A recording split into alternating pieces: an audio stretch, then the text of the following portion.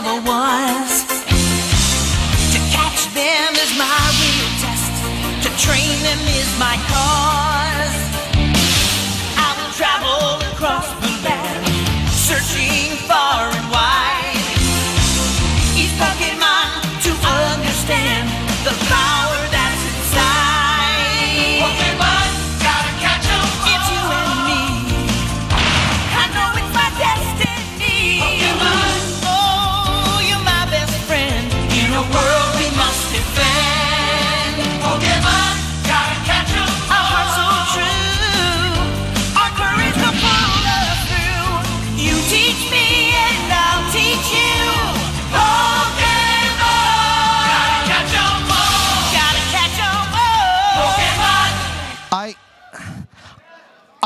I, okay, number one, if you weren't singing along to that, Killjoy.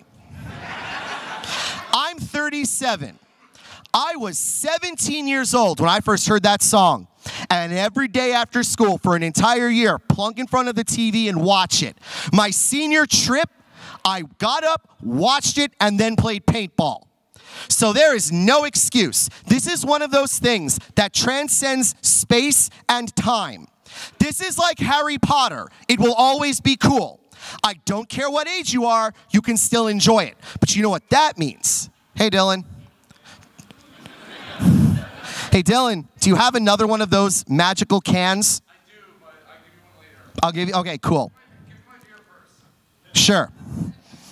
But when you get something that's timeless and ageless, that's going to forever transcend uh, our pop culture and our understanding of the world, you're always going to run into people like me, bored college students. People who really get into things and want to write college papers about them. And I was a freshman in college, going through my major Pokemon phase, playing the trading card game every weekend. So, of course, I tried to find ways to blend it together with a lot of the things I was studying. I was studying folklore studies, I was studying mythology studies, I was giving these long winded expositions about Pokemon and mythology and the nature of transcendent pop culture. And the general response I got from every single person I talked to was this Really? Really? You're going to talk to me about mythology and sacred storytelling and epic storytelling, about a game with kids who chuck balls at monsters. There is no value in that. Oh, but I beg to differ. When it comes to the media we create, when it comes to the way we consume that media, way we reform that media, the way we share that media, these kinds of stories all have a lot of different traits. And if you're familiar with Joseph Campbell, I am he's falling out of favor with me because the man was a raging misogynist. But he did create a couple of interesting ways of looking at pop culture. Aside from his four dimensions of myth, he brought up these three points product of culture, representation of life, and reflection of experience. When we consume mythology, when we consume storytelling, we're supposed to be able to see ourselves in the stories. They're supposed to resonate because we can put ourselves in there. Everyone I know either wants to be a little English boy who discovers he has magic powers or a bored farm boy on a desert planet who gets a laser sword and shoves it through his father. Or they want to be a sexy character from Worlds of Warcraft. But we project ourselves onto these characters because they resonate with us. They're supposed to give us life lessons and ideas that can guide us through where we're going. And they're supposed to act cathartically. They're supposed to impart wisdom to us that we can use later. And when you bring this up, the general response is once again, because we have this popular misunderstanding of these kinds of stories. You say mythology or epic storytelling to anyone, I guess, over the age at this point of 30. And they're going to start hearkening back to sacred stories, major legends. They're going to start talking back to gods and monsters and heroes and the things they heard growing up at the expense of the stories we tell for ourselves, at the expense of the stories that we can put ourselves in. And thankfully, we also have video games. Which not only allow us to experience the media, they allow us to control the media. Because when people talk about myth, they're forgetting one major aspect of it. Ultimately, mythology is supposed to represent the entire history of you.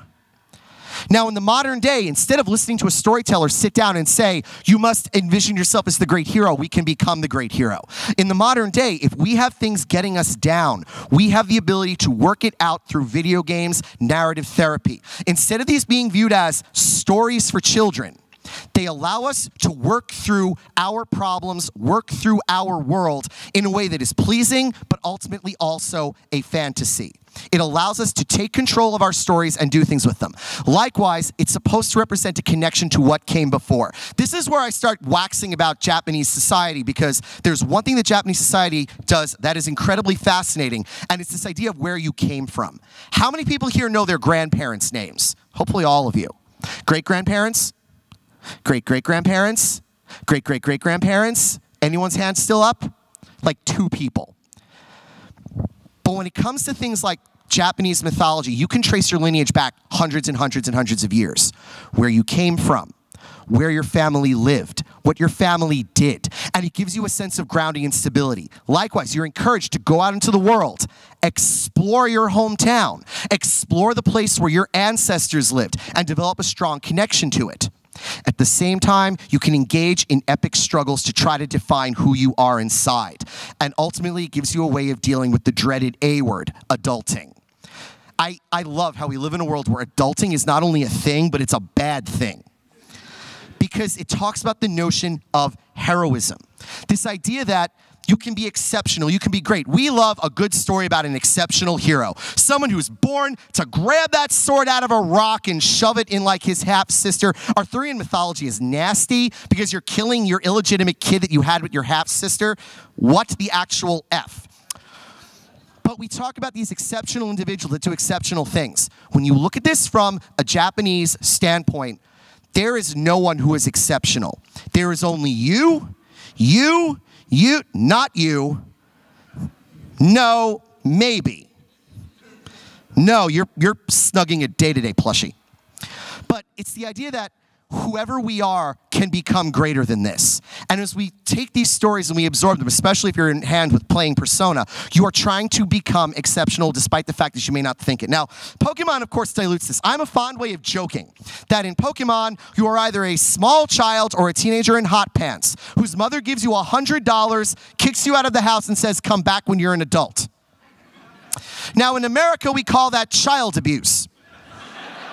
In the world of Pokemon, we call that responsible parenting. But at the same time, it is teaching you to grow, it's teaching you to be better, it's teaching you to be at least a little bit responsible. If you blow all your money on Pokeballs and all your Pokemon get knocked out, everyone starts scolding you for not taking care of your Pokemon and then they won't listen to you, blah, blah, blah. That was the first time I played Blue but you have to learn to be greater than who you are. You can't rely on your you can't rely on the past. You can't have someone else bail you out. It's up to you and your balls. Think about it. Likewise, it talks about bonds and how we create community. Japan, communal society. I would like to think that we can be a communal society here in, here in America, and we often are when someone screws with us. We can screw with each other all we want, but the moment someone else comes up against us, we will ride up, rise up like a tidal wave and kick their ass back across the ocean. But at the same time, it talks about how we need to be together in a community in order to work well. You need your friends. You need people who will test you. You need to have a bond with the things that are important. Once you get that down, it becomes the true power. Instead of it getting by on your own, like we talk about gumption, pulling yourself up by your bootstraps, don't ask for help. Why? Why can't you ask for help? You have to ask for help with your friends if you want to succeed in the long run. They force you to do it because the things you're facing, here you've got your evil. Here you've got your beings that are going to try to destroy you. Mythology sweeps this out into epic conflicts with dark, evil, destructive creatures. There is a spoiler on that screen. Some of you probably know which one it is. But when you're talking about mythical evil, the big bad is the one who will flood the world with deception. The big bad is the one that will destroy you by making you want to strangle yourself. The big bad is an evil, impure Pokemon living in the middle of a world where reality makes no sense, and you have to go into that world, chuck a ball at it, catch it, take it out, and use it on someone else. Become the evil. But these are mythical evils. Mythology likes to throw mythical evils in your face because they show things that are afraid for society. It's no, it's not a spoiler because Persona 4 came out like 10 years ago. But the end boss in Persona 4 is Izanami. She is the Japanese primordial mother turned dark mother. Izanami was once beautiful, and when she was created, the God said, Okay, you and your husband go out into the world and fill it with your children. Okay. And when God tells you to have sex, that is now your full time job. So Izanami and Izanagi went out into the world and had a lot of sex and produced a lot of children.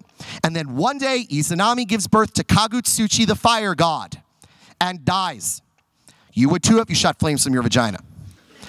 But because she is divine, she cannot simply fade away. She goes into a place called the Yomi. The Yomi is dark. The Yomi is dank. The Yomi smells bad. My apologies. The Yomi is kind of like northern New Jersey.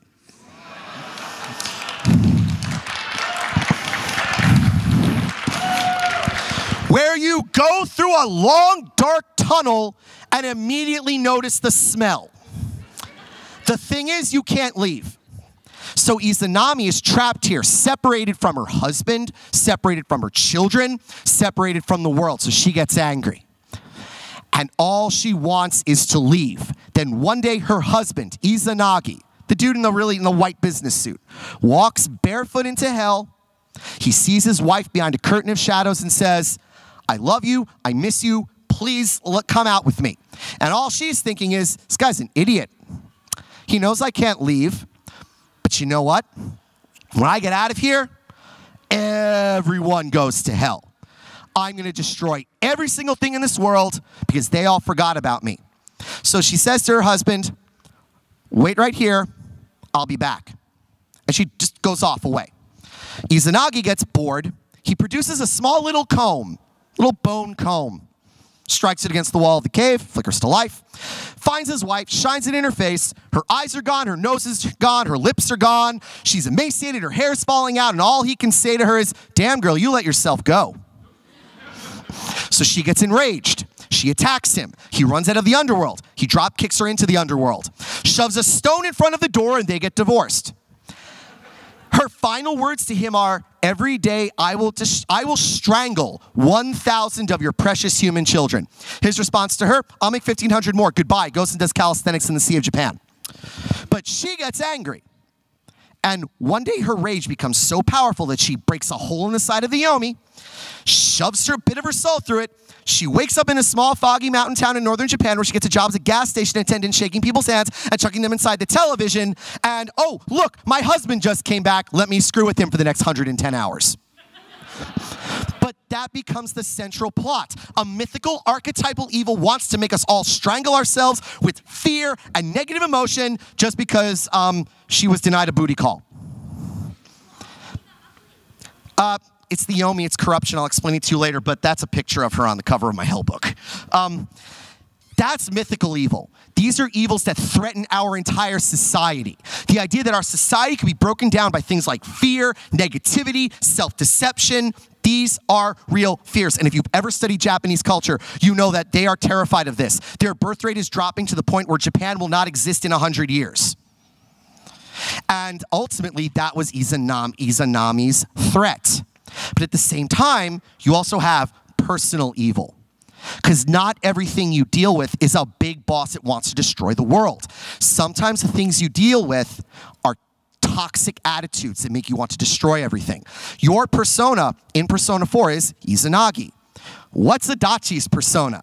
Magatsu Izanagi, corrupted Izanagi, who is too, who is too deceived by his wife that he's willing to let her out.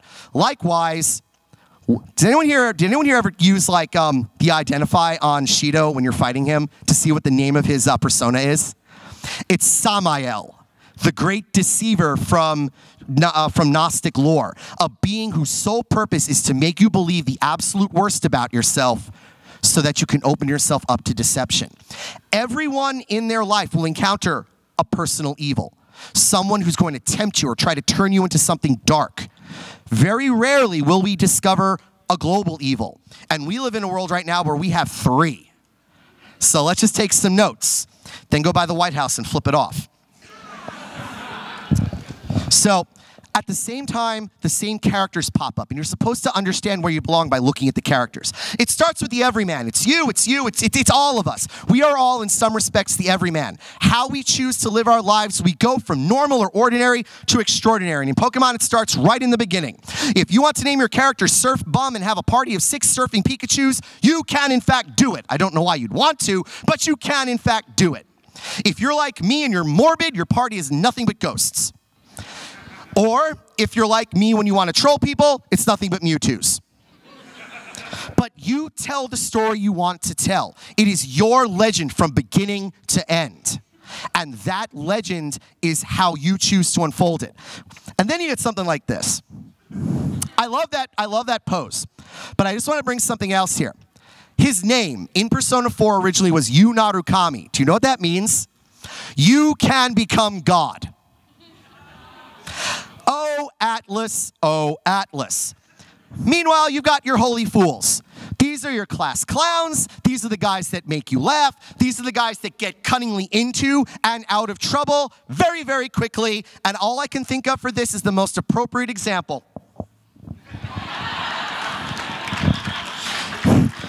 to date, the only Pokemon trainers I have ever seen who got their Pokemon to evolve by feeling sorry for them. You have your mentor, the person who teaches you, imparts you wisdom. They're the ones that will give you the tools you need to succeed, survive, and indeed thrive.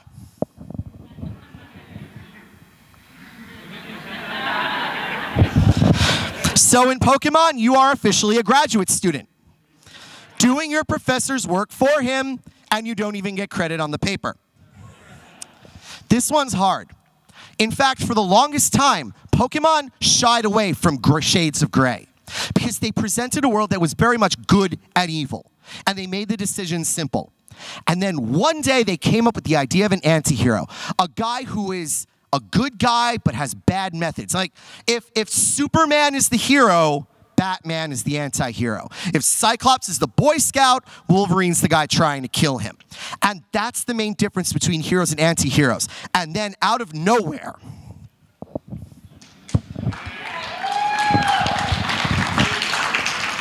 I can't hate this guy.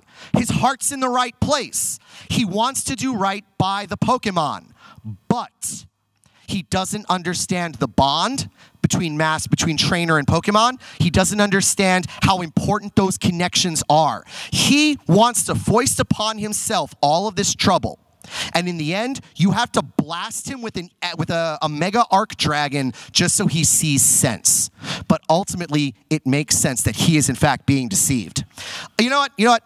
I could talk about this, but this could be summed up in one word. So you got a bicycle, he's got a car.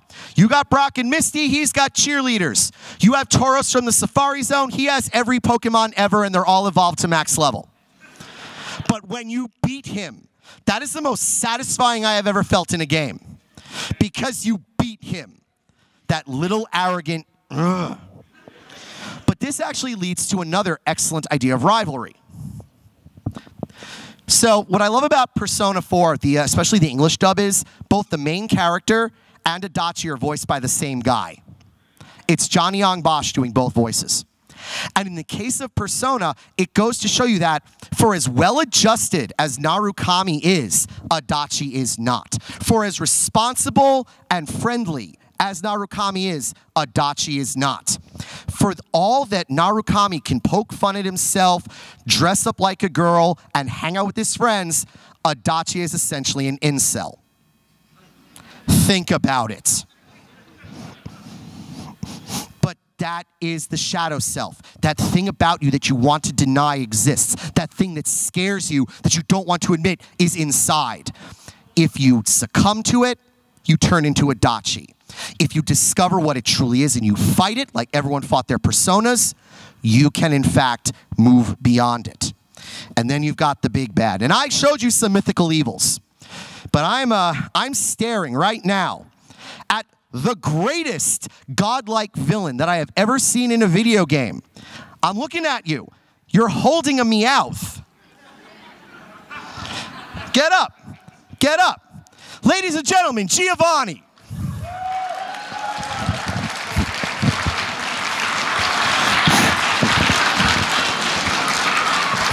You know why I like Giovanni? Because, okay, Izanami is a goddess. She is a corrupted, dark, vile goddess. When you fight Yaldabaoth in Persona 5, he is a god of deception and trickery. Giovanni is human. But Giovanni is wealthy. He's powerful. He is a gym leader. He is the guardian of the Pokemon League. He is the most respected man in Kanto. He has god monsters in his basement. And he controls Team Rocket. And he is human. That is the ultimate form of a godlike villain if I've ever seen one. That is an end boss that you feel good defeating. Because whereas you feel bad for Izanami, she's being corrupted by loneliness, or you might feel bad about Yaldabaoth for whatever reason before you shoot him in the face, this man has no redeeming qualities whatsoever. Yeah, but Ghetsis is just Giovanni Light. He doesn't have Mewtwo. Okay, for the record, Mewtwo is my favorite Pokemon. He will always be my favorite Pokemon. That's why I have six of him. Because sometimes Mewtwo got a Mewtwo. But at the same time, you see ideas, you see archetypes, and sometimes they just like to blend mythology together. Like, for example, creation stories. I remember when Pokemon's creation story was very simple. First there was Mew, then there was Pokemon, then everything went to hell. And then, then Gen 4 came out. And there was Arceus, and he was good. And Arceus beat his wings and created two dragons, Dialga and Palkia, and told them to go out into the world and create Pokemon, and they did. Then one day, negative emotion got to be too strong. They expunged it from themselves, shoved it into another world where reality makes no sense, and there it's stews trying to destroy the world. Did I not just tell you that legend like five minutes ago? Just it involved flames from a vagina? In Gen 4, they took the Shinto creation story, turned it into Pokemon. And now you can, in fact, catch them all. And the goal in the end is simply to remove the distortion and prevent the world from ending. Likewise, we always love a good cosmic battle, one side punching the other in the face. This is not in Japanese. I love how they're cheering when I said gods punching each other in the face. This is not, in fact, Japanese. This is actually Babylonian. Jenny, you you know this story, right? The story between the beasts of the land and the beasts of the sea who punch each other repeatedly until God shows up, picks them up, smacks them, throws them into the underworld, or as we call it, Gen 3. Hmm. Gee, I wonder where we heard about a giant whale creature versus a giant rock monster in their respective cults. Oh, I know. Every time I went to Hebrew school, my friend Mark Davinsky. But the legend is put there for you to see. This is the first time Pokemon looked outside of Japan to create a mythical story. I hate playing this gen, but I love the story in this gen, especially Omega Ruby. I adored what they did with the narrative design and the world spanning mythology in Gen 3. Just don't ask me to play it. So then this thing happens, and we talk about equal and opposite forces. Remember what I said about them getting a little trippy around Gen 5? I don't know what they were smoking when they worked on this one, but I think they were staring way too long in the yin yang and said, let's make that a story. It has its own creation myth about yin energy, electric and yang energy, fire, spinning around at the top of a tower, creating the world, until a beast of ice, nothingness, threatens to subsume it and destroy it. And ultimately, you have to show that we must live. But honestly, the one I've been waiting for is this one. So, about 10 years ago, I gave my first ever panel at Nekocon. It was on mythology and anime, and I ended with this particular section. I was studying like Plato, Plato's philosophy my first year of college. And he was talking about hubris, he was talking about arrogance, he was talking about mankind corrupting nature and twisting it to his own vile needs. And I thought, huh, that's cool. And that night I went to the movies to see the first Pokemon movie. And I see there's Mew. And Mew is natural and Mew is good. And then Giovanni, you gets your hands on it.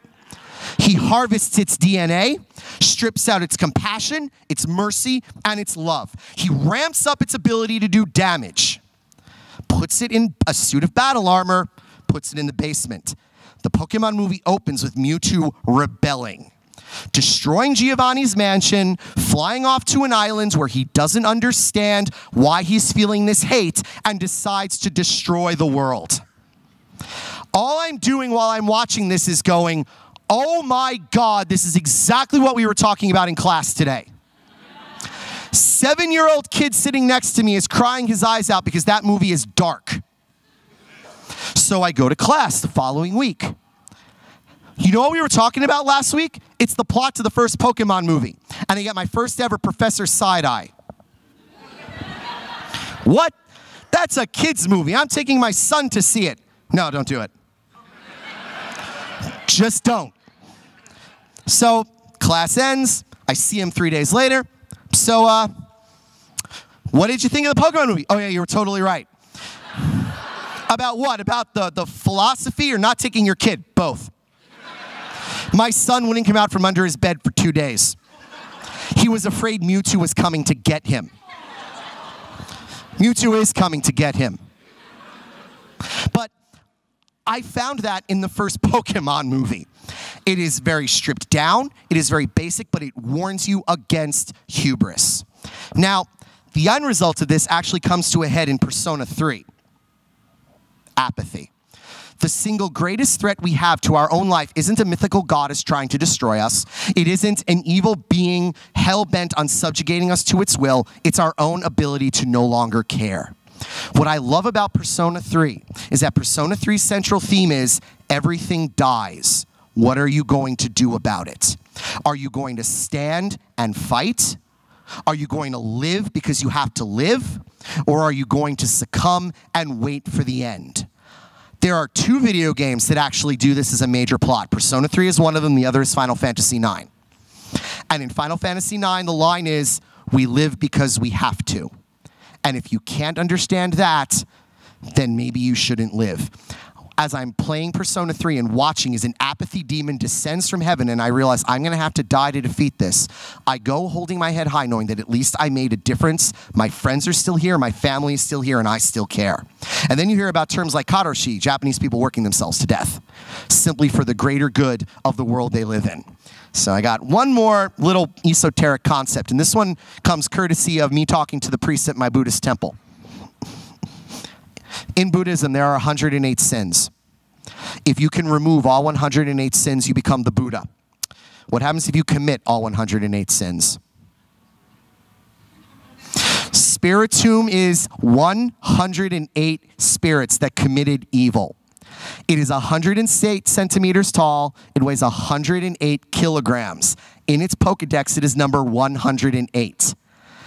And when it came out, it had no weaknesses. Ladies and gentlemen, the Buddha's worst nightmare. and you can catch it in a ball. and you can use it on your enemies. So when I mentioned this to my to the priest in my temple, he said, "I'm not letting you commit 108 sins." but I could be a Pokemon. What is wrong with you? So, moving on.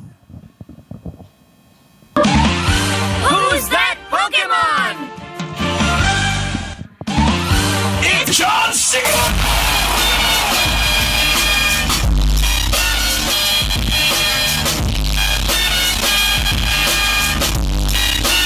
Yeah, yeah. Some of you remember that from the last time I did this panel. But to be honest, John Cena is the greatest Pokemon because he's loyal, he's honorable, and he only knows four moves. he's up to nine, but then he forgot four of five of them. So I just throw that in there because why not? Because we're moving on from the serious stuff to something a little more fun. One of the hallmarks of games like uh, like Pokemon, and to another extent, Persona is this idea of going out there and collecting and catching and grabbing it. And people think, oh, that's kind of fun. Let's go out there and catch them all. But you ever stop to think why this is important? Well, Japanese culture is thoroughly obsessed with this. Who has ever been to Japan? Gashapon machines are in front of every store, every train station, and all you do is put money into them. And you get a little plastic ball with something inside. And you will stand there trying to get the one that you want until you realize you could just go to Akihabara and buy it loose for half the price. But Japan likes to catch things. And a lot of this actually goes back centuries. There's a term in Japanese called shushigaku. It means digest knowledge. And the idea behind it is learn about the world by going out there and experiencing the world. Collect the books and read them. Go out there, look for different kinds of creatures and have fun with it. Explore, discover who you are. This is rooted in the Edo period.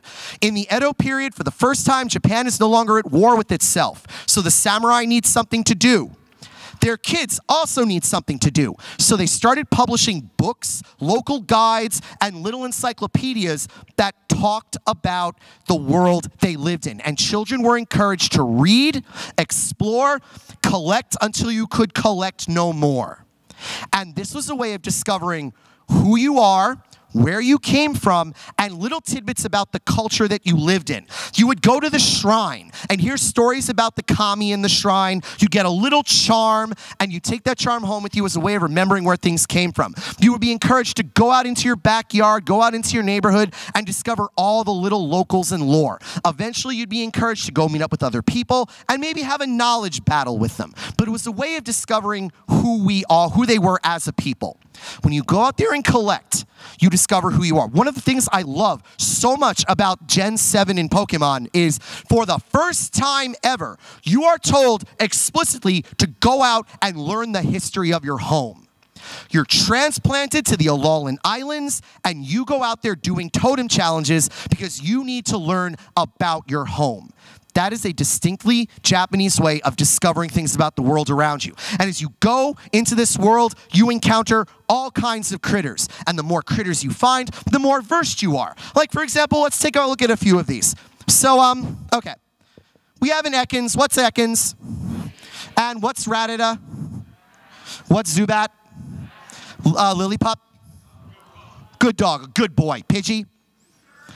Official citizen of the city of New York, the pigeon.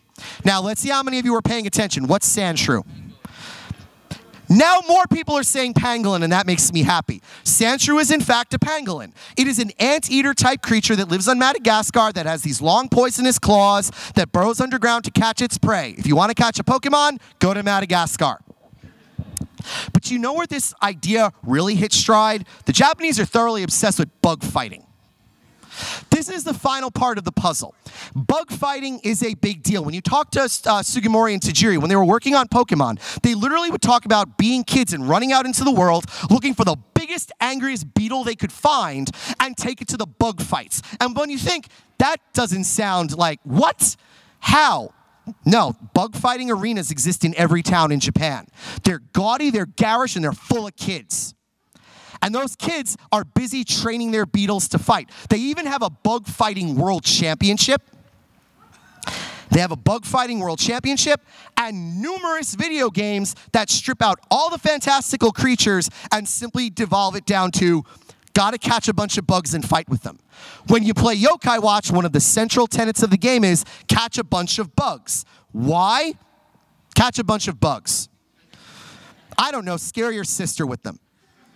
But this is the final piece to the puzzle. You take those exploration, and that knowledge, and then you just put it into play with something fun. The original Pokemon gyms were designed to be like bug fighting arenas, or each arena had a different element, and each arena had a different leader. And you could go around your neighborhood beating up all the different leaders and then going to the world championships in hopes of actually defeating the best in the nation. And because it's bugs, apparently we don't consider this animal cruelty. I don't know, forcing something to get inside a small ball where they exist without food, water, or human contact, then are forced to come out only to fight for your own amusement? That's a dark game right there. And then you look to the past for Pokemon. You got your Archaeopteryx, you got your Trilobite, your Triceratops, your T-Rex, your Pachycephalosaurus, and then right there you have a Relicanth. Who here knows what that is? Coelacanth. It's common knowledge now. The living fossil that they thought was extinct until they found where? Off the coast of Madagascar. Seriously, you want to get a Pokemon, go to Madagascar. Gen 5 also gave us fashion trends. They got their fashion trends, but to be honest, if you want to talk about Pokemon, this is where most of their ideas come from. They come from Japanese folklore, they come from yokai. The idea that there are little critters out there in the world that embody mystery. And this is the best definition I've ever seen of a yokai. But the best way of describing it is you see that big monster in the middle of the screen? Anyone want to fancy a guess at what that is?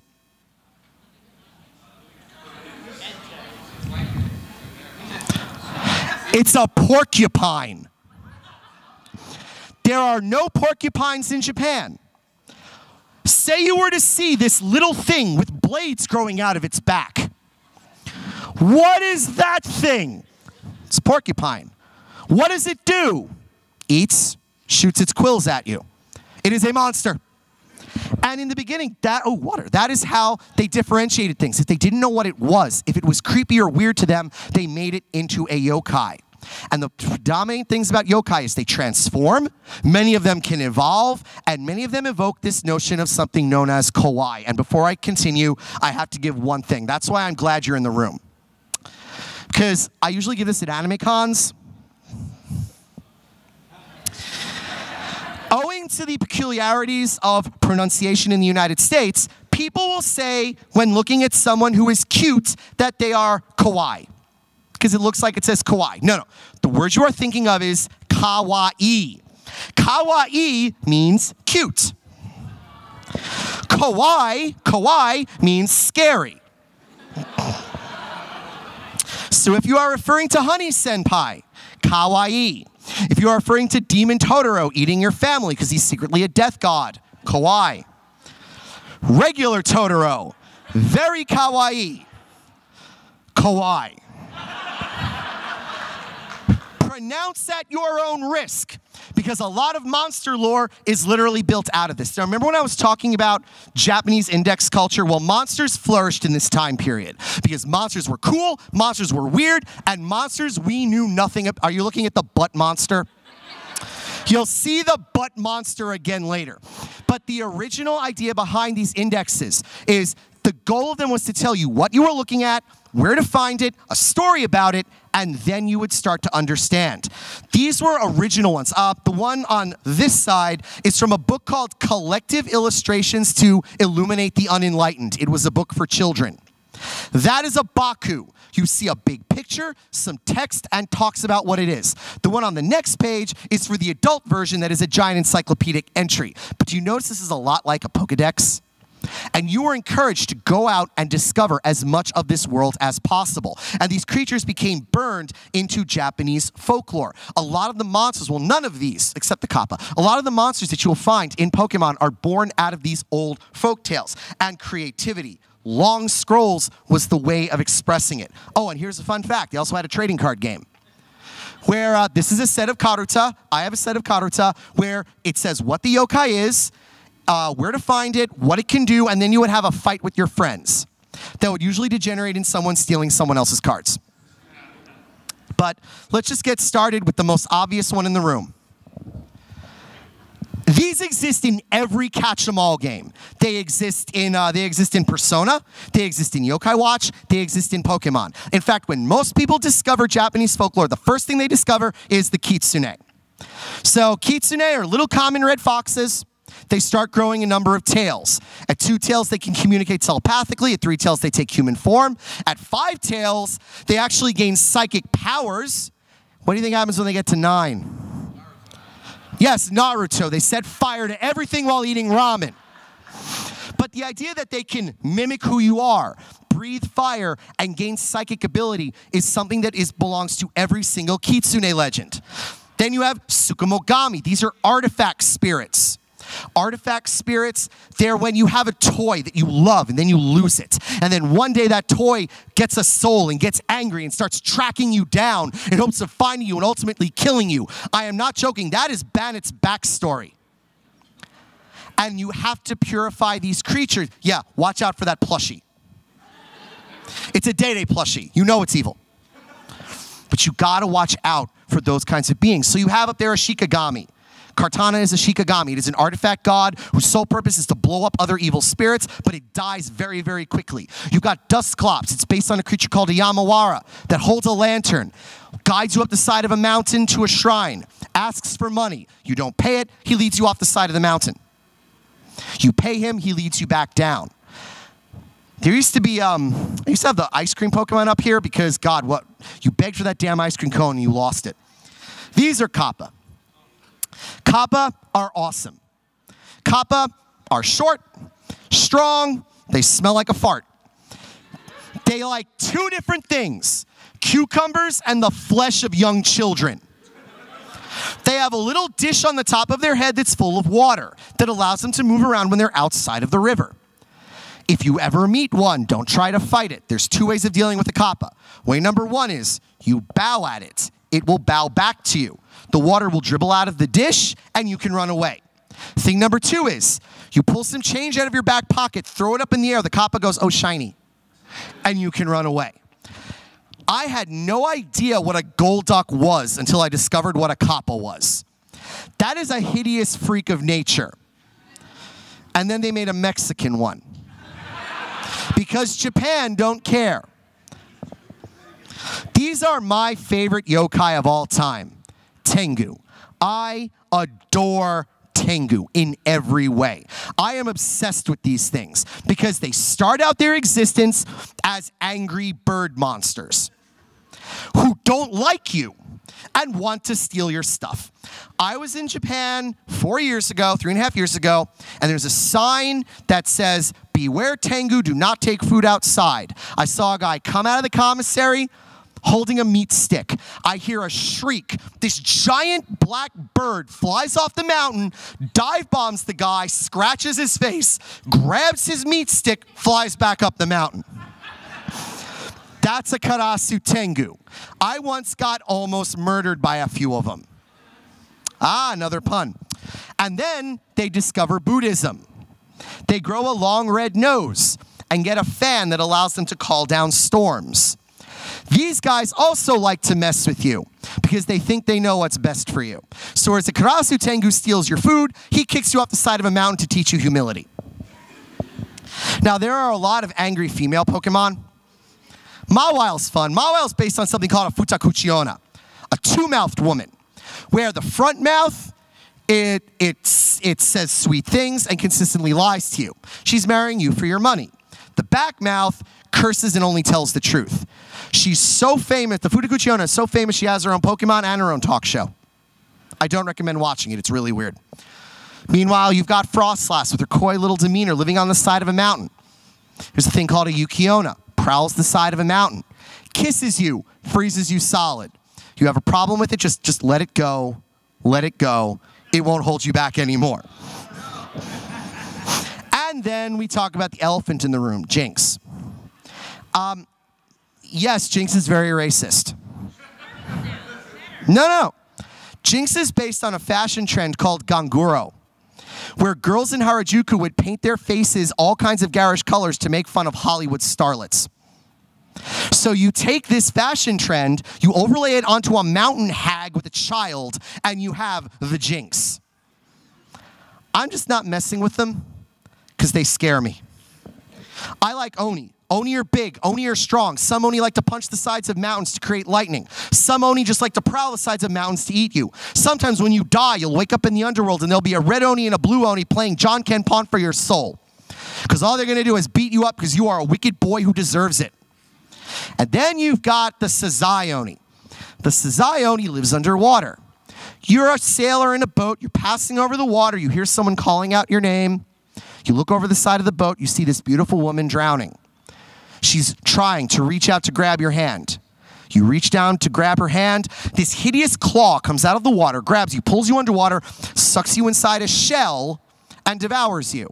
You will never look at Slowbro the same way again. Now, Oni are big, Oni are strong. There are actually Oni that kick your pillow to keep you awake at night. There are actually Oni that throw temper tantrums, but are there any parents in the room? You're going to like this one. This is the Namahage. Normally, you encounter them in Yokai Watch when you cross the street against the light, where it yells at you and then tries to hit you. The Namahage have a festival up in Akita Prefecture. It's February 15th, and yes, they're aware of what day that is. There's a house with some young children in it. There is a knock, knock, knock on the door. The door opens. Outside is a red and a blue mask holding a bucket, a mop, and a knife. And they have a very simple question Are there any annoying, wicked, or troublesome children here that don't do go to school, that don't do their homework, that talk back to their parents? If the parent says no, they produce a bucket full of candy. So it's like Halloween, but the monster brings you the treat. What do you think happens if the parents say yes? They run into the house, shove a six inch long knife in the kid's face, and read him the riot act about being a good child. Consequently, Akita Prefecture has the best behaved children in Japan because of state sponsored child abuse. But I digress. Yeah, they will be back next year, every year, until you're grown. So you have your bird legends, your thunderbirds, you have your phoenixes, you have both your western phoenix and your Chinese phoenix. These are things that we know. And then I was looking at Articuno and I'm saying, what the hell is an ice bird?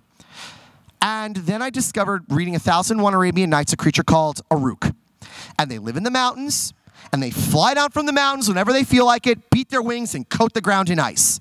And while looking up images of the roc, I found a picture of one that is in the same pose as Articuno. Reaching outside your own myth to grab something weird, I like that. I like that when they do it with dragons. Because I like dragons. Your typical dragon looks like a Charizard. It's full of fire and anger. Then you go to England. England dragons are weird. Some of them are called worms that have no arms and legs. They burrow up from under the ground and try to strangle you. You will always encounter one on the way home from the pub at night, then wake up in a pool of your own, you know. Or you go to Scotland and you have the wyvern with wings and two legs and a stinger on its tail that does the worst possible thing you can ever do to a Scotsman eat its sheep. they don't care about the Scotsman, they just want the sheep. Then you have gargoyles, these beings made of pure stone that sit on the top of castles threatening things until old Star Trek cast members pull them above the clouds and then they get a TV show on Kids WB that no one freaking remembers. I am a child of the 80s and 90s. But those are Western dragons. Eastern dragons, slightly different. There's a legend of something called the Dragon's Gate. It's a 10 foot tall gate in the heavens. At the base of the Dragon's Gate is a pool full of carp. The carp swim to the bottom, swim to the top, flail, flail, flail, try to get over the gate. If they could get over the gate, they turn into a giant dragon that flies through the sky, dispensing wisdom, magic, and vengeance. I swear to God, when I evolve, I'm going to kill you all. Or maybe you're going to Japan where there's a creature called a Ryu. It's a little serpentine dragon that lives in caves under the water. Uh, every time during the full moon, it comes out from the water and waits for the moon goddess to drop pearls from on high. If it catches enough pearls, it evolves into a true dragon and again flies through the sky, granting wisdom and, and honesty. Then we've got the multi headed dragons. There's this being called the Yamata no Orochi. The Yamata no Orochi has nine heads and a bad attitude, and he flooded the world in shadow. So enter the god Susanoo, who is walking around the world wondering where all this shadow came from. He arrives at a village cloaked in the fog, and he sees this woman dressed up as a bride being led out into the trees. And he says, Where is she going? Oh, she's a wedding gift for the great god Orochi. Orochi protects our village if we give him virgins. Well, I've never heard of this god. I want to go see him. Walks to the village, out of the village, walks to the trees, hears a scream, runs through the trees, stops dead in his tracks at the nine headed dragon. No, no, no. I am not fighting that thing. But he knows he has to beat it. So what does he do? He goes back to the village, gets 18 jugs of sake, and gets the thing wicked drunk. Or as we at MagFest call it, Friday night. he chops up the dragon, finds a god's sword in its tail, and the fog recedes. Everyone's happy. I love that legend simply because it is one of the few Japanese legends where Amaterasu doesn't show up. Yeah, seriously. Research the land of Izumo. It's amazing. And then we had Salazzle. People were like, fire poison? That's amazing. How do you do fire poison? Well, let's look at this. Eastern mythology. Eating powdered salamander scales will apparently make you fireproof. Western mythology. Eating powdered salamander scales will make you immune to poison. Eating powdered salamander skills will give you no benefits whatsoever, except a burn on your hand and a trip to the ER.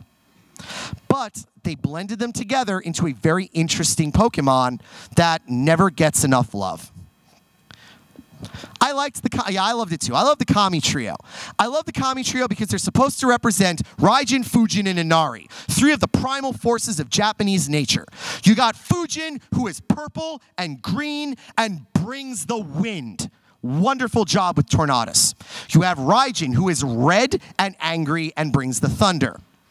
Okay, your coloration's a bit wrong with uh, Thundurus. I'll let it slide. But where I get is with Landorus. It's supposed to be Inari. Inari is not angry. Inari, in fact, is cute. So I think that's more of an Inari. Anyone here ever walk by a walk by a temple or a Chinese restaurant and see these guys? These things are called Shisa or Koma Inu. They are guardian lions or guardian dogs. They guard temples, they guard businesses, they guard important cultural relics, and in America, they guard Chinese restaurants. I swear to God, every time I go to P.F. Chang's, I walk past seven of them. And they're very simple. These are not quite gods, but close. They destroy with fire anything that threatens the temple. In China and at some Buddhist temples, they are lions. At Shinto shrines, they are dogs, one with its mouth closed, one with its mouth open. And if you wake that thing up, run. It is going to burninate you.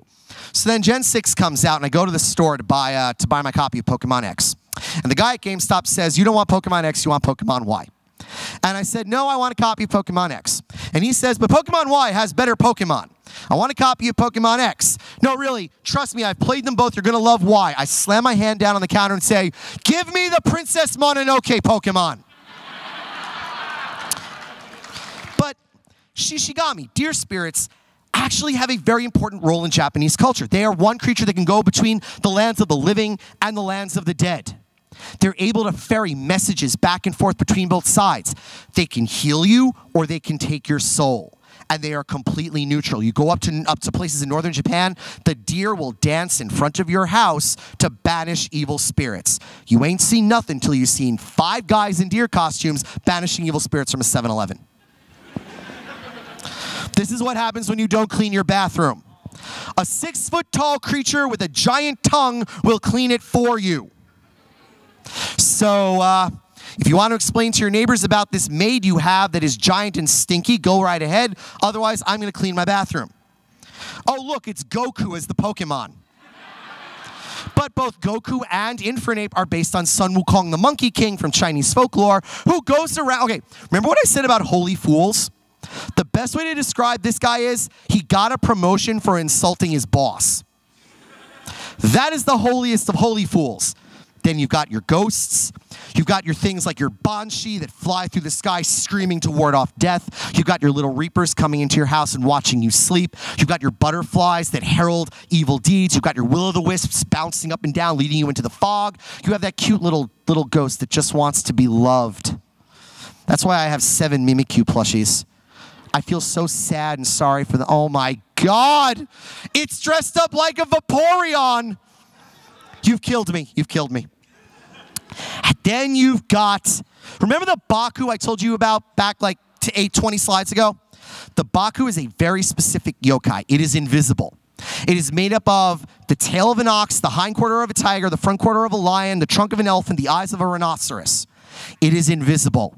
It creeps into your house at night while you're sleeping, climbs into bed with you, puts its trunk on your forehead, and eats your nightmares because every part of it's a good luck charm. Drowzee puts you to sleep and casts Dream Eater. I guess it's the same thing. And I got a couple left. So, Exeggutor is a creature called the Jinmenju. It's a tree with human-faced fruit. You go to pick the fruit, you go to bite it, it makes a face at you, you go, ah, and you drop it, the tree laughs at you as you go running away. Apparently, they were hunted to, ex uh, to extinction because they taste really good. Uh, we've got down there, we have Celesteela, is the legend of Kaguya the bamboo cutter's daughter, who comes out of a little reed of bamboo, discovers she is in fact a goddess, and then Studio Ghibli made a movie about it. Meanwhile, Celesteela blows you up. We've got uh, we've got Tyranitar. Any D&D players in the room? That's the Tarrasque. That's the French Tarrasque that wakes up, eats the countryside, and goes to sleep. Combusken? Okay. Uh, you're a villager living in feudal, feudal Japan, and you see one of your neighbors run out of the trees screaming, The Basan is coming! The Basan is coming! Right on his heels is a 10 foot tall chicken. Runs into your village, sets the whole village on fire. That's a basan. But the fire is spiritual. It eliminates all of the impurities in your village and your underwear and then goes back into the forest. The last one here that I actually wanted to bring up on this slide is the, um, the Whiscash for something very significant. Whiscash is uh, ground, it's, it's groundwater, and it's based on a creature called an Onamazu. Onamazu is a mythological catfish that lives under the islands of Japan. And according to legend, if you polluted the water or polluted the land, Whiscash would shudder and cause earthquakes and tsunamis. Onamazu is also the name of a species of giant catfish that lives along the coast of Japan. And then one day, about, oh God, eight years ago, an entire school of them that had been in this one spawning area for years got up and left. Two weeks later, the tsunami hit Fukushima. Apparently, Onamazu can sense earthquakes underground with more accuracy than seismographs. So now they're watching the Onamazu. And if they ever get up and go somewhere, they know a tsunami is coming, head for the hills. Now, you can, in fact, catch one, but why would you want to? It's keeping Japan safe. And I got one more slide for you. This is, uh, this is from Yokai Watch. This is Shirime. His name means eyeball butt. He has no face. You see him, you scream at the lack of a face, he turns around, moons you, the eyeball pops out of his butt, and you immediately quit drinking. because that's the only way you'll ever see something that bizarre in the world today. So, there's more than this. In fact, I could go on for hours and hours and hours, but I have to stop because I only have a few minutes left. Um, if you are interested in more and you would like to support my parking charges, I actually put my Pokemon book back in print. $5 gets you a copy of the Pokemon book, and you'll make me very freaking happy. But otherwise, my last panel for MagFest, I may see some of you guys at KatsuCon. I will be at KatsuCon. Maybe I'll see some of you guys at another con down the line. Hopefully, you guys were at least entertained by my stupid dad jokes for the last hour. If you would like to get a book, come and grab them. I have a few to offer. And enjoy the rest of this party con.